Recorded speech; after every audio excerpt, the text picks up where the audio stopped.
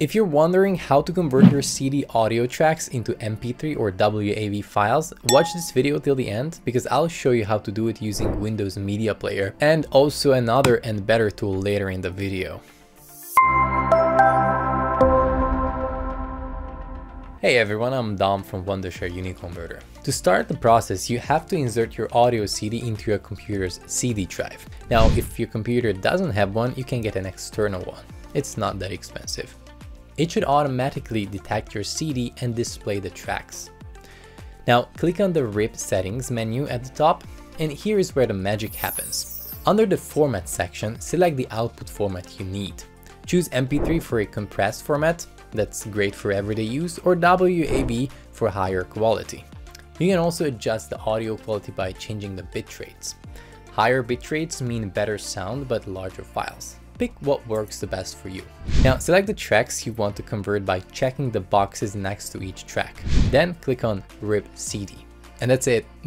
Once the ripping process is complete, you'll find your new MP3 or WAV files in your music library. Easy peasy. Now, if you want a more professional solution, then you can use the Wondershare Uniconverter's CD converter feature. Open the Uniconverter and go to the Tools section on the left side of the interface. Here, select the CD converter. Now, choose the CD files you want to convert.